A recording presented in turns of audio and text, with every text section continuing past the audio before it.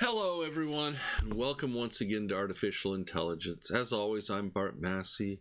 As always, I hope you're staying safe and doing well out there in this very difficult time.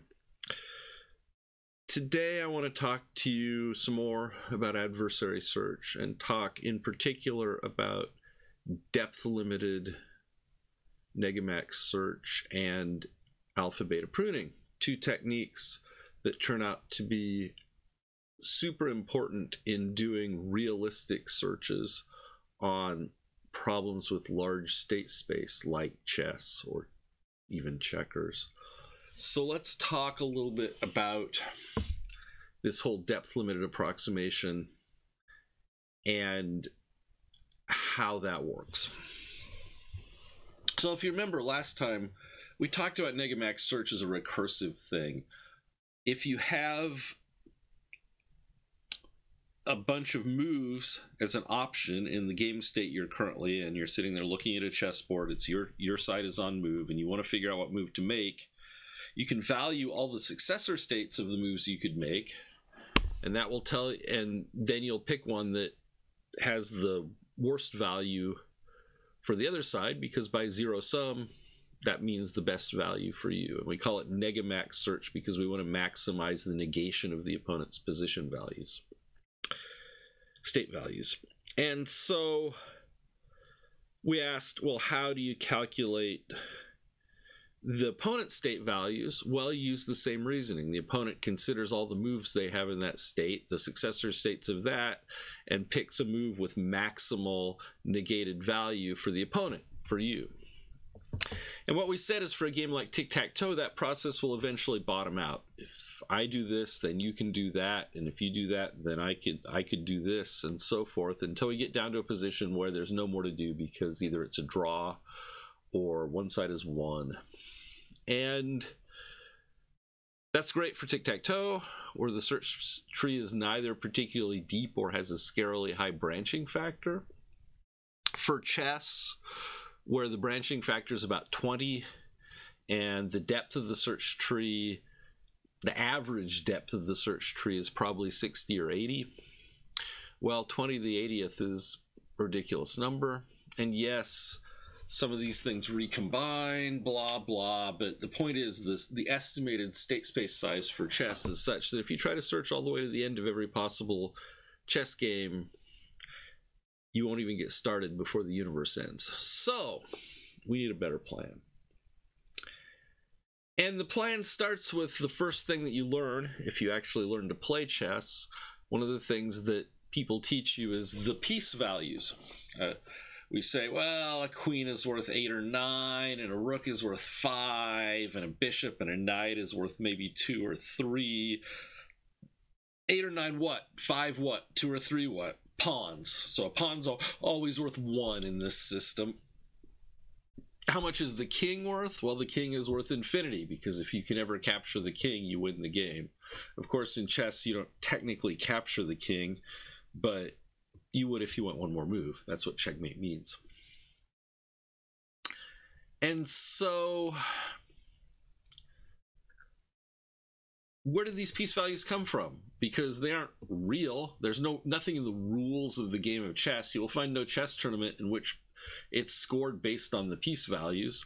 And indeed, the piece values aren't even really right necessarily, right? You can be in a position, you can easily construct chess positions where it's your opponent's turn to move and you have all your pieces and all they have is a few pawns and yet they have a winning move. They can beat you.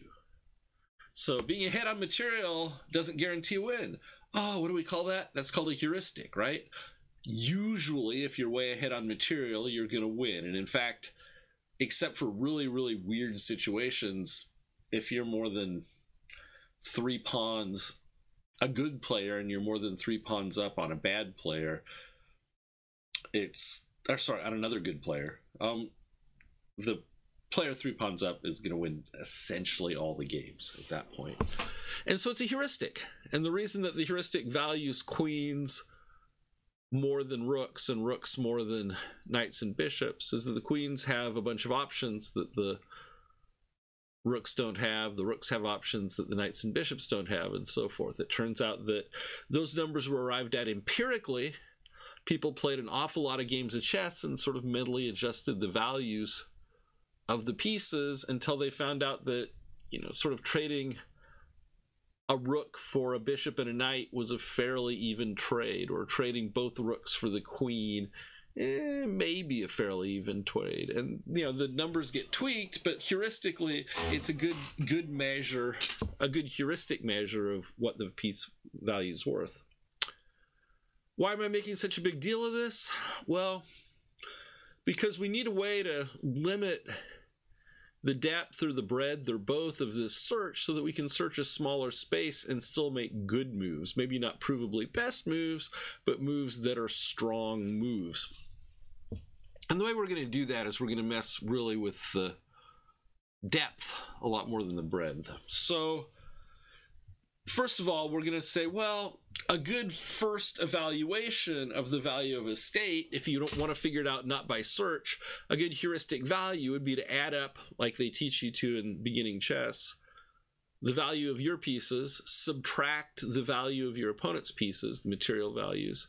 And that's a good and by good I mean not terrible, heuristic estimator of the value of the position. And if that value is, like I say, strongly positive, then you're probably winning in that position. If that value is strongly negative, you're probably losing in that position. Probably, it's just a heuristic.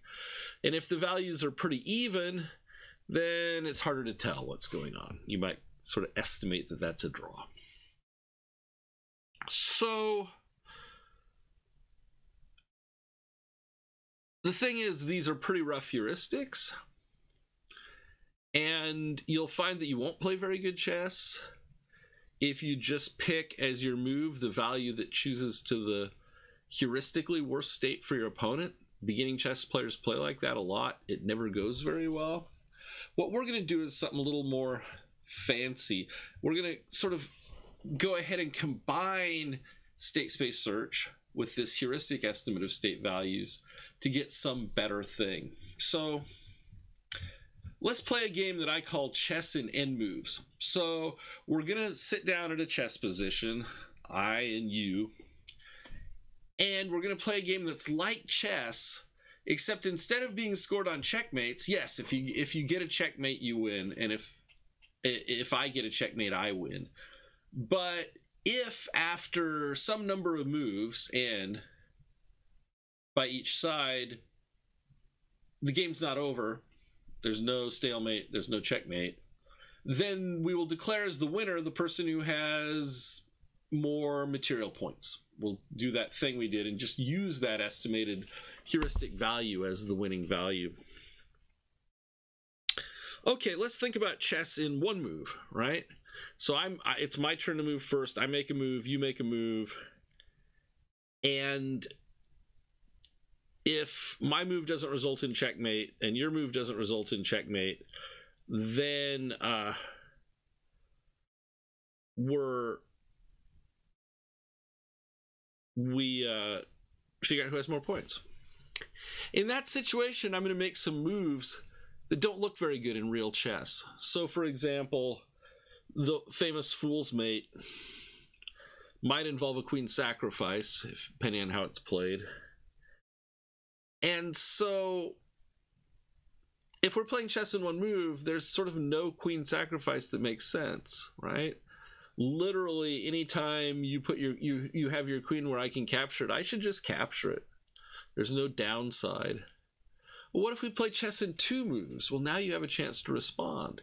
And maybe if it's a very shallow checkmate, you can get a checkmate. So it might make sense in some limited number of situations to sacrifice your queen.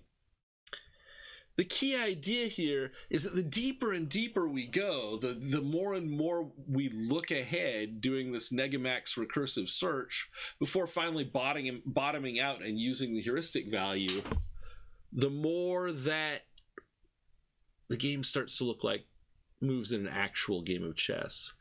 And chess in 20 moves, you'd play pretty much like you play normal chess because nobody can look 20 moves ahead anyway, and even computers can't look 20 moves ahead thoroughly. And so that isn't quite true, but that's because of a trick I'll show you in a bit. And so, you know, you're really going to get strong chess moves if you can figure that out. And yet, a depth limit means that there might be some feasible amount of moves I can actually explore in a reasonable amount of time. And in fact, there's a theorem that says that as you increase the depth, the estimated value of your position and its successors converges on the true value.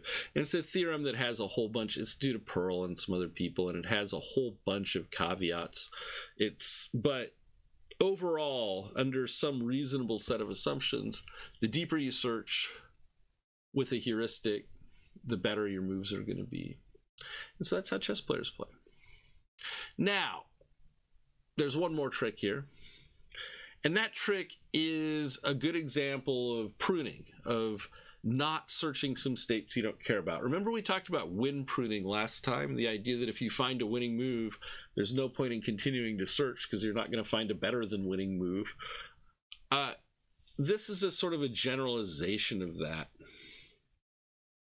And the idea here is that if I find some particular score for some state for some move, right? I look at the successor state of some move in my current position and I find out that it has a value of 3 for me. And later I'm exploring some other move and it's with its state I find out that my opponent can force me to at most 2 that, that my opponent has a thing that can achieve a score of minus 2 for them and therefore at most 2 for me then I can stop searching that branch because there's no. We've already found that that move is worse for me, so I'll never make that move. I'll move into the one that gives me a score of three and guarantees me a score of three instead of the one that my opponent will get me two or worse. That's what's called alpha beta pruning, and it's called that for obscure reasons. You can look it up. And so it turns out that applying this technique is super powerful uh, here you can see that we've uh, achieved a score of 0.7 for us after searching this whole leftmost branch. And now down here, we find out that our opponent can achieve a score of minus 0.5 at least because we found a move for opponent that achieves 0.5 along its left branch.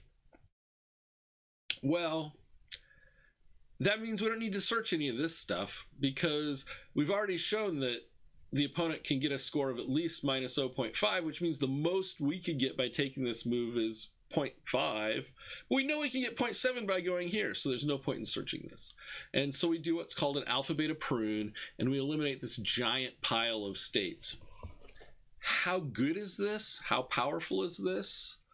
Well, it turns out that if you were able to order the moves perfectly so that you considered the best state for best child first, at every uh, at every depth, then you would cut the depth of the tree by a factor, effective depth of the tree by a factor of two. That is, you'd search the same number of nodes on average with a depth 10 search that you would search with a depth 20 search without alpha beta pruning. So that's a big deal, right? 20 to the 10th versus 20 to the 20th is a huge, huge, huge factor difference. And so you have to have this alpha beta pruning in your program, and you have to have really good move ordering, heuristic move ordering. Um, you know, you want to consider the states for each side from best to worst for that side. And if you can do all that, then you uh, then you're in good shape. Now the, the implementation of this is hard to talk through. I would suggest that you look carefully at the textbook or online at any one of a number of sources to try to understand how this works. But the idea here is to keep what's called an alpha beta window. And that's sort of you keep track at any given state of what's the best score each side could achieve at that state. And at the beginning, you don't know you don't you don't know what the heuristic score is that would be best for each side. You you have sort of minus infinity to infinity.